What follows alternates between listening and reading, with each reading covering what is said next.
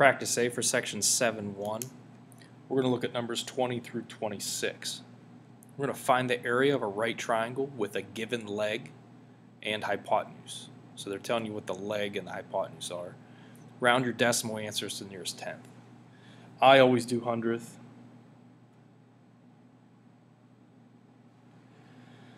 So it's going to look like this.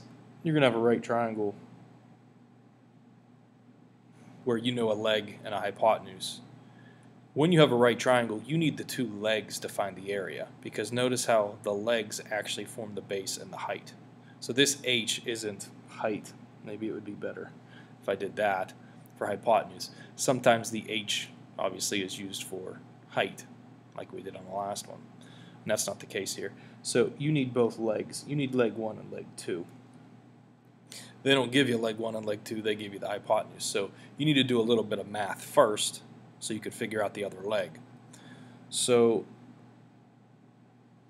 this is a triple, or it's going to be a triple. 3, 4, 5 times 3 gives you 9, 12, 15. 9, 12, 15. So your two legs are 9 and 12. Find the area of a right triangle where the legs are 9 and 12. So all you're doing there is 1 half base times height. I didn't even need to do that in the calculator. But it's 54. I know there's not a lot of room here. Obviously, I'm experiencing that now as well. If you don't have enough room, get a diff different piece of paper. So, 1 half 9 times 12. I know half of 12 is 6, I know 9 times 6 is 54, which is what I showed you in the calculator. That's how all of these are going to go. You're going to find the other leg and then use it to find the area of the triangle. Um, a lot of these end up being triples. A lot of them do. Um, I'm going to jump down here and do number 24 because I look at it and I can't immediately think of the triple. So I'm going to show you how you find that if you don't know it. So if you know the hypotenuse and a leg, how do you find the other leg? You take those two numbers and you subtract them when you know the hypotenuse. So we're doing the square root of 72 squared minus 21 squared. Well, that doesn't look so good. Did I do that right? Yeah, I don't like the way that looks. It's obviously a decimal. Uh, I think I did everything right. Yeah, so that's the length of the other leg. And I know it's not pretty. But when you square it, well, you don't want to square it. That is the length of the other leg. So the other leg that you have is 21. So you need to take this number times 21 and then divide that by 2.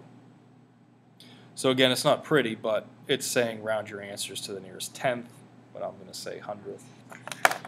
So here's your answer here.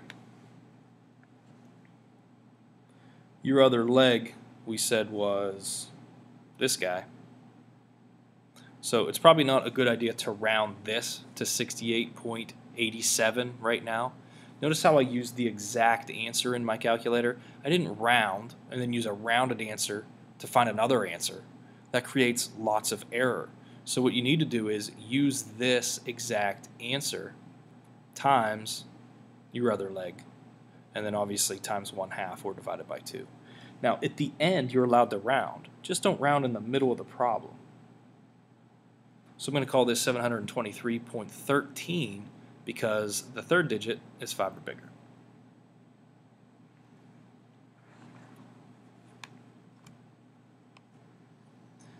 Number 26. What is the area of a right triangle with leg length 30 and hypotenuse 34? So it's the same thing that we were doing here. So I guess we'll just do it. I think this is a triple as well. One leg's 30, the hypotenuse is 34. This is 8, 15, 17. Oh, I'm off the paper. 8, 15, 17, which is 16, 30, 34. So your other guy that you need is 16. multiply those two together. 1 half 16 times 30. And that might seem tough to do, but half of 16 is 8. 8 times 30 is 240. So it'll be this guy.